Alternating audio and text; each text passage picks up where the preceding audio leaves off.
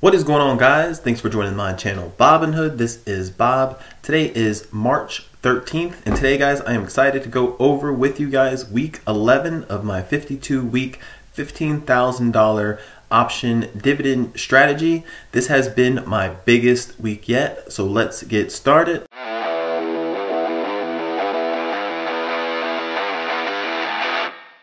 As you guys can see, my total market value is sitting at $126,114.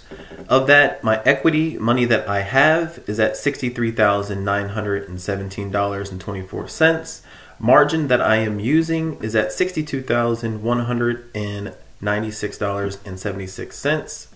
So if we do look down here, guys, energy transfer, one of my second smallest positions has still been making me the most money dollar-wise and percentage-wise. AT&T has been on an absolute tear, going up to $1,600. Microsoft, guys, is positive 1340. Realty income is up 673. New residential is at positive 645 enterprise products. Overall, I'm up 615. New stock that I bought, guys, is Tattooed Chef. I did buy 100 shares. Um, it has made me $80.31 already. So let's check the portfolio out for the day. Was a very great day for me. I was up uh, $1,162, 1.85%. After hours, I was up $55. I don't know why this is not showing my total day, but it was as high as $1,700 and as low as $300. So I'm glad where it finished off at. So let's check the week out, guys. I am up $3,706.99 or 6.16%. We check out the month, guys. I am up $4,678.49 or 7.9%. The three month, I'm up $8,558, up 15.46%. We'll check the year out, guys. I'm up $18,713, up 41%. And we'll check the all time. I'm up $13,205, up 26%. So, guys, I'm very, very happy how this year is going. I'm actually a little concerned that it is going up so fast, so quick. Like I said, just in this portfolio here, I believe I'm up just over $10,000. As you guys remember, if you've been watching my video, I was at a point where I was down about $26,000. Quickly recovered um, off of Simon Property Group and Tesla. Um, so it did bring me back up here, but I'm very happy where my portfolio is. Like I said, guys, I did do a uh, share, 100 shares of Tattooed Chef here. Um, that is basically just a vegan company uh, that has come out on its own. It has been making a lot of products from different companies, um, but they are starting to expand on their own. So I just took a small chance. It was about $2,000 investment to try to double my money. But the main reason is, I'll show you on the other screen on my spreadsheet, is that the options are very high for that. And if I were able or had to sell them at a certain price, I wouldn't mind selling it at that price, making a quick profit. So let's check out the weekly options, guys. I know I said that I would try to cut it down a little bit, but as you guys can see, I definitely did not do that. So let's start with AT&T, guys. I did do a little bit more risky with AT&T. I did a $31 strike price. Um, I did buy back at $6 because I knew on Friday they were going to come out with some news. Um, and it, it, was a possibility of the stock going up a lot or possibly even going back down. So I did make a quick $84 um, on this. And then it did actually go down. So I did buy a call, which I normally do not do with AT&T. Um, but it went down so far that I've been watching um, how AT&T reacts, and uh, it did went it did go up uh, pretty shortly after that. So I did buy a call that expired on 319 on the 11th and I did sell it on the next day on the 12th.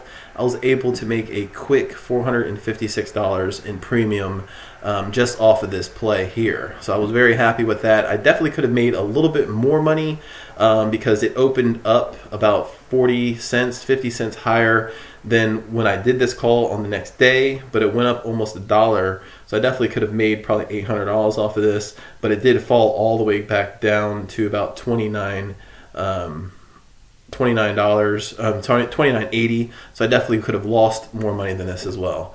So I also did do a sell call uh, with AT&T for a $31 strike price when it was doing a pretty high run up. Um, I was only going to be able to get $3 premium, which is better than nothing. So I was able to make $42 off of AT&T. Uh, Realty income, I still have this till the 19th, but for some reason, the last 30 minutes or last hour on Friday, it shot up like a dollar, dollar 25 cents. So currently, it is over this price It's at 62.80. If Friday comes around or Thursday, um, I probably will have to buy the shares back. Hopefully, I would be able to break even or possibly not lose too much on it. But we'll see how the week goes. I believe Realty Income will go back down below 62.50 um, by the end of the week because I'm not sure why it ran up so high the last 30 minutes to an hour. Energy transfer, just a safe call at $9. I was able to make $22 here. EPD, same situation, $15 here. New residential um, has broken $11. I believe 1102, 1103. It's currently at $11 now. Um, if I were to sell this, um, I probably would let it go. So if it went above 11 and I had to sell it, I probably probably would let it go to free up some more um, buying power, uh, maybe to go something to go into something else. Uh, with Microsoft, I was able to sell a call. Um, it did go up it did fall back down. So I bought it when it came down at $22 to make a quick $36 profit. I was able to sell another call at $34. I bought it back for $3, making a $31 profit. And I did it one more time. As you can see, it was a little bit lower strike price. And it was like maybe an hour before 3 o'clock on Friday. So I was able just to get a quick $6. And it did expire worthless. So add another $6 on that. Uh, Apple, I basically did the same exact thing uh, for the most part. Um, but I did end up um, buying some calls on this. So I bought a call on Apple, which I normally don't do, but I've been watching Apple as well. Um, so I was able to make a quick 71 bucks with Apple. I did the same thing to make a $99 one, and I did sell some calls um, as well. So I made $80 on a buy call. This one was actually a sell call. Um, on this one, I bought it back for $9 to make 19 bucks. I did one more just to try to get something out of it. Um, so like I said, I made 14 bucks on a sell call.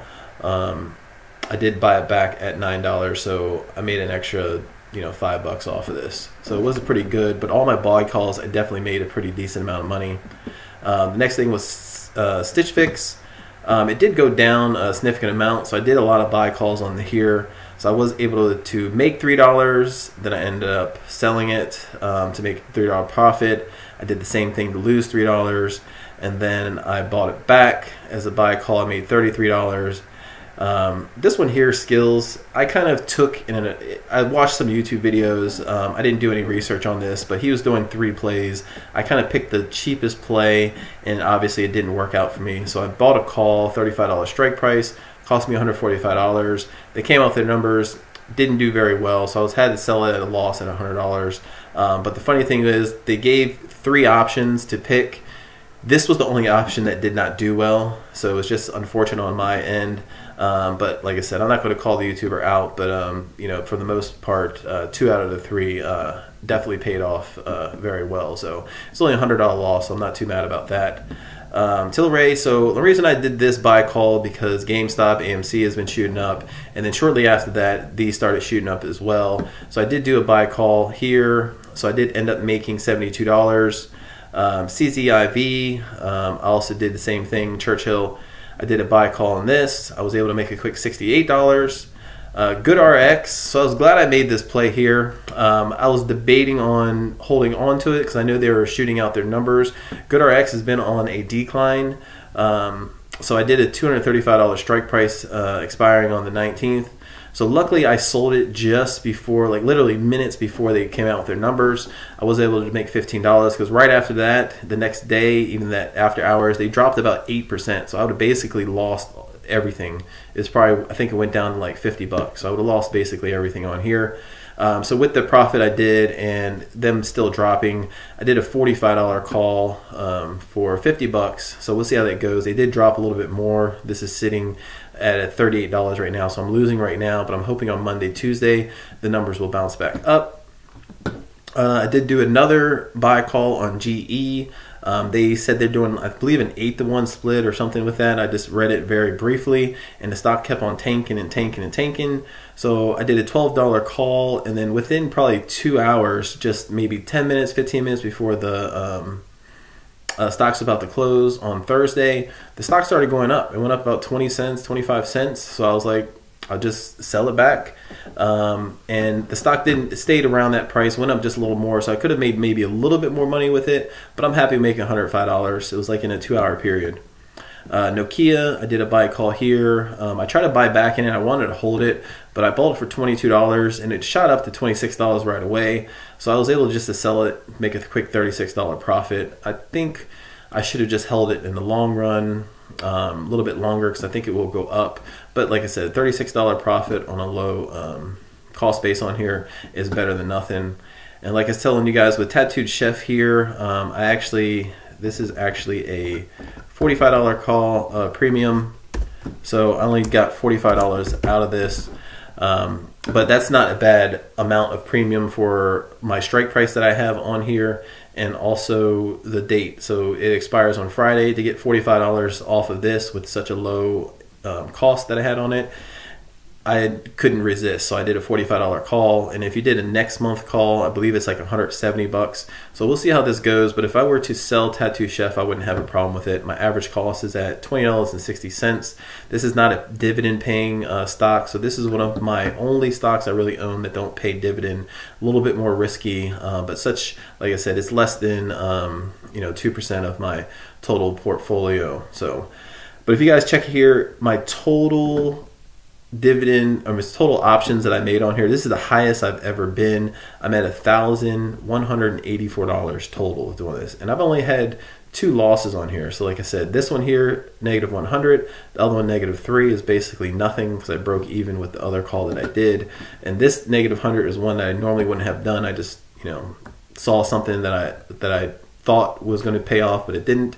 But I'm not mad at that. But like I said, one thousand one hundred eighty-four dollars in option trades in one week. Absolutely amazing. I'm very happy with uh, all the decisions I made, um, selling short term as well, because a lot of times I didn't hold long enough and I lost out on money. But like I said, as long as I can make money, I'm fine with that. So let's move on to my long term dividend option strategy. The only thing added here is Tattooed Chef. 100 shares, I think I can get about $75 per month. And if you look at this yearly option here is $900. So if I get $75 per month, um, that's $900. My total investment is $2,060. So just doing, if, if I get $900 a year in option trades, that's 44% percentage to profit. So you know, I can't be too mad at that. And if I had to sell it, I would be sold at a profit and it would be short term. So I wouldn't be mad at that either. I can invest uh, in other stocks uh, that are down. So on the stock side, guys, it has been pretty crazy. I mean, as you guys can see, I've been down, you know, $1,100. And then as you guys can see, I'm up $6,649. So with AT&T here, I was up 1278. They were on a pretty good run, so I'm up 1684. Realty income, just like I said, in the last 30 minutes to an hour on Friday, they, they just shot up a dollar or two dollars. So I was sitting at negative 446. I'm up 640, 674. Microsoft, uh, I was at 982 for two weeks straight. Uh, I'm at 1341. Uh, energy transfer has just been absolutely amazing. I believe I'm almost up 30% with energy transfer. Uh, went from 1798 to 2128. Uh, with Apple has been uh, not my best moment with them, but I think next week Apple will do well. They have to do well. I think Apple will do better. Microsoft may stay flat. Some other stocks I think might go down a little bit, but Apple, this is three weeks in a row, as you can see of how long I had Apple. I mean, it's been three, four weeks in a row where it's been losing a significant amount of money. But I think next week is Apple's turn term to uh, go up. Uh, EPD has been a pretty good stock as well, just steadily going up. So 513 to 6. 15 uh, other stocks. I didn't count Tattooed Chef because I still own the stocks. If I sell it, I will add this into this column. But overall, with all the other stocks that I had and got rid of, um, up $1,074. Uh, new resident has been pretty steadily just going up. It started bad, it went okay, stayed flat, and I'm up 646. Like I said, just on the stock side, I'm up $6,649. Uh, and like I said, that's in 11 weeks. So that's absolutely amazing. And if you guys know the strategy that I'm doing, I'm not counting the stocks. Like I'm expecting it to go up but if the stock stayed flat, I still expect to get $15,000 in option and dividend trades. So let's move on to the dividend option side here. Uh, with AT&T, this is the highest option trade that I made with AT&T. Like I said, you guys look here, I made, you know, 50 bucks, 20 bucks, 80 bucks, $20. This is the option uh, dividend part, so I don't count that. But um, like I said, I haven't, and I lost 280 last week because I had to buy it back. But like I said, $582 off AT&T is absolutely amazing. Uh, Realty income, I'm waiting until next week to see how that goes. Microsoft, uh, $73 in option trades, which is a little crazy because buying and selling four or five times to make $73, it's $73, but that's a lot of work and me keeping an eye on it to see if it goes up or down. Uh, but I was able to get a nice $56 dividend from Microsoft as well. Uh, energy transfer has been just basically steady. I'm going to try to maybe get a little bit more than $22 because it goes from $2 premium to three, four, five sometimes, and I usually just go with a safe bet at two. And then when it does a run up, you know, I could maybe wait a little longer on that. With Apple, I'm very happy with that. Even though I'm losing money on Apple stock itself, as you guys can see, I am making money on the option side. So that's one way to offset the stock if it's going down. Um, like I said, if you look at here, I was down Apple about 40 bucks, but I made $193 off the option side. So technically with Apple itself, overall, I was up. Uh, EPD, just steady at $15. Nothing crazy uh, with EPD. Uh, other trades I did is at 299 uh, new residential, like I said, it's a monthly one, so next week I should be getting a nice dividend. Um, I mean, a nice uh, option trade with that for it. Uh, but it might have to sell it. But as you can see, I'm not making a lot of money on the options. I did make it on the long-term option, but for the most part, this has not been one of my higher um, paying one. So if I did have to get rid of this, I would add it into um, other stocks or possibly open up a new position with a different stock.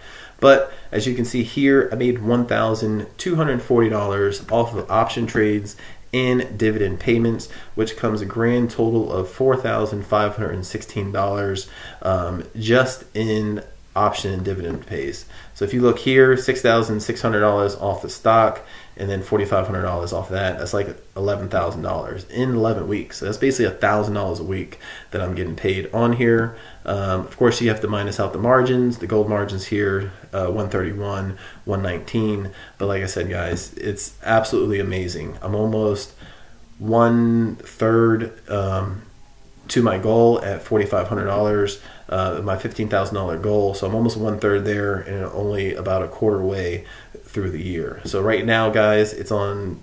It's amazing right now because the more money that I get into the stocks, the higher that the dividends should be paying out, and the higher that the option trades I should be having. And with stimulus money, I am getting a pretty good amount of stimulus money. Um, it is me, my wife, and I have three kids, so I would be getting seven thousand dollars back on the uh, stimulus but obviously all of it is not going to go to me. Um, I will get a portion of it. So whatever money I put in uh, my Robinhood, the margins will technically add that same amount. So if I were to put $1,500, I would have $3,000 in buying power. So I think what I am going to do is if I do add it into my portfolio, I think I would sit on it because you know everyone's talking about you know are we in a bubble? If is it going to go down? What's going to happen? Um, I don't know. Nobody knows. So what I'm going to do is I'm going to actually just hopefully I'll be able to resist of buying other stocks unless something goes down like AT&T or Realty Income right away and then I'll buy into that. Um, but I think I'll sit on it for a little bit and see how the market goes.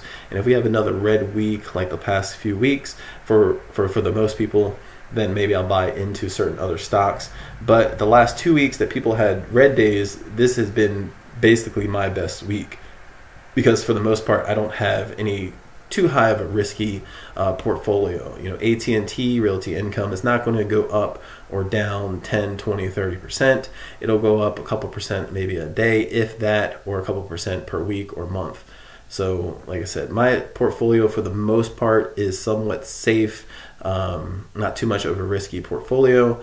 But obviously, me playing on the safe side still bringing me in basically eleven uh, thousand dollars for the year so far for eleven weeks um, has been uh, really, really good. So if for some reason the stock market does go down and I lose all of my stock side ones, no matter what, guys, on this option trade side, this will always stay with me. This will always be in the positive here. So that $4,500 will always be in there unless I make a really bad option trade on this end. But for the most part, this is money that I made that doesn't affect the stock side. So this is money that I have and it's banked in there. Um, so as long as I don't take like a six thousand dollar, seven thousand dollar hit on my stock side, I should be good to go.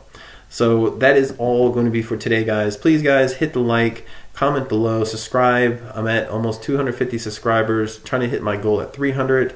Um, so definitely hit the like and comment below. Thank you, guys. Have a great day.